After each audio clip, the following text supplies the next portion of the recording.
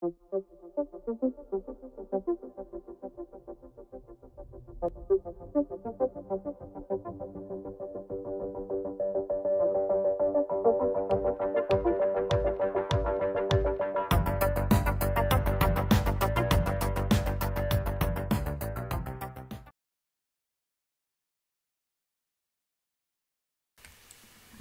All right, what we're going to do now is we are going to solve the heat exchanger problem using the effectiveness NTU method. So I'll begin by writing out what we know and what we're looking for.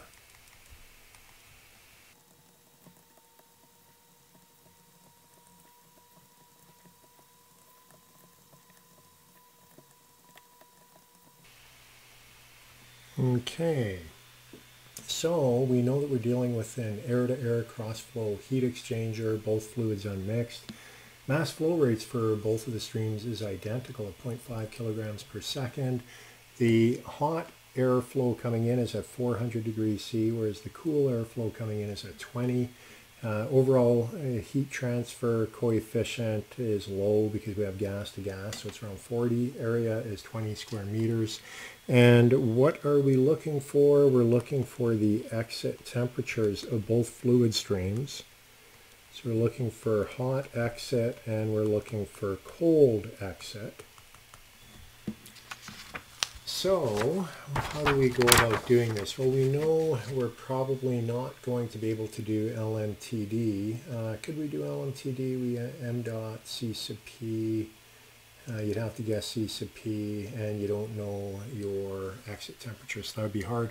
Uh, we are going to use epsilon or effectiveness NTU to solve this.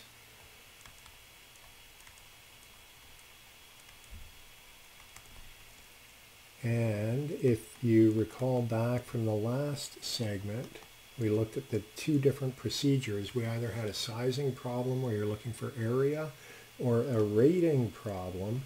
And so this particular problem turns out to be a rating problem. We're looking for Q as well as the exit temperatures. So what we're going to begin with, we're going to begin by getting the properties of air and we have a little bit of a problem here because if we look back at what is known, we know the inlet temperatures of both of the gas streams, but we don't know the exit temperatures. And usually we're supposed to be evaluating uh, the specific heats at the average temperature, and we don't know what the average temperature is. So we're going to have to do a bit of a guess here and we will begin by evaluating at the inlet temperatures. We know that it's going to be lower, but this is kind of a first uh, step. We have to iterate this problem. Uh, and when you look up the values for the hot,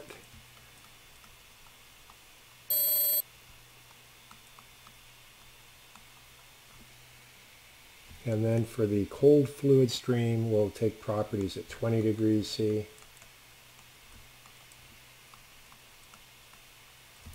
So when we're dealing with the effectiveness NTU method, we have to determine which is the minimum fluid.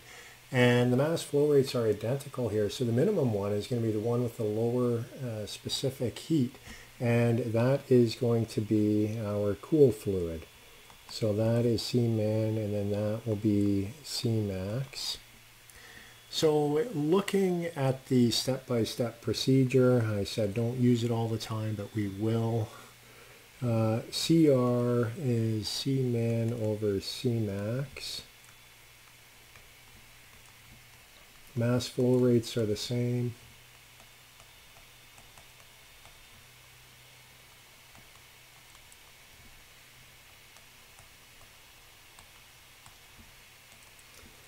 So with that, we get the ratios to be 0.9408.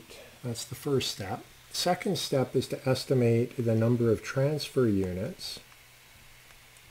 And remember that is defined as being UA divided by Cmin. So when you compute that, you get 1.59.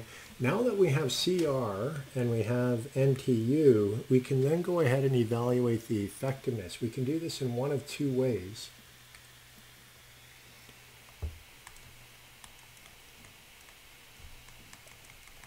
We can get the effectiveness off of a figure. And typically, I'm not going to pull out a figure, I'm just going to sketch it so that you get an idea. But it is probably in any textbook that you're using. Uh, what we have is effectiveness on the vertical.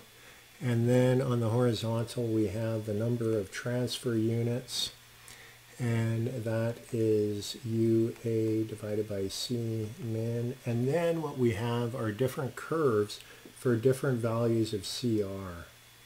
And so you'll find these different curves that are on this plot. And so that would be for CR equals 0. And then asymptotically, we would get CR equals 1 at this point here.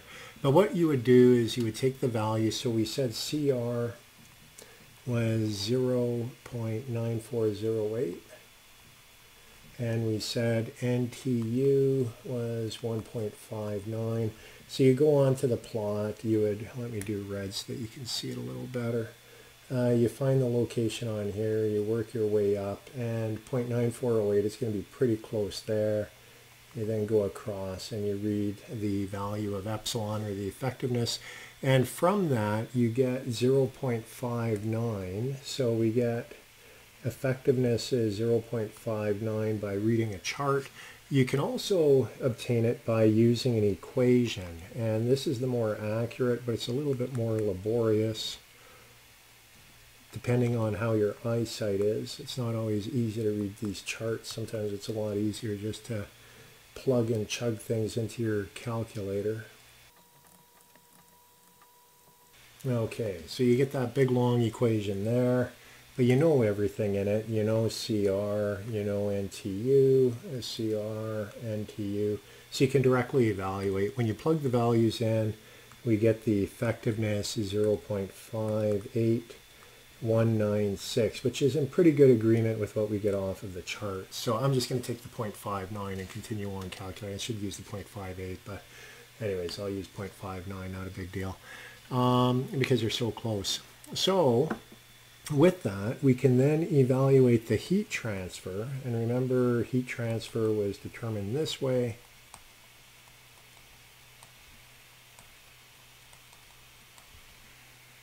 And with that,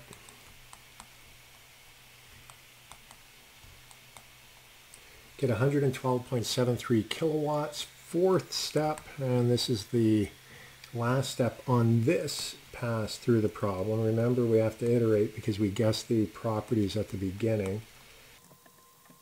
And so we get T hot out,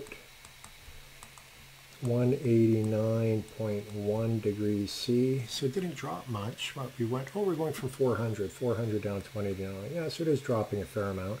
And TC out, so the cool fluid out, 244.2 degrees C. So it's going up quite a bit uh, from 20 degrees C up to 244 for the way that we have this particular problem. So that would be iteration number one. And technically what you should do is you should iterate this problem again. And to do that, you compute a new average temperature for the hot fluid. And then you average for the cold fluid. And when you do that again, uh, you find that this is going to be the minimum fluid because the mass flow rates are the same.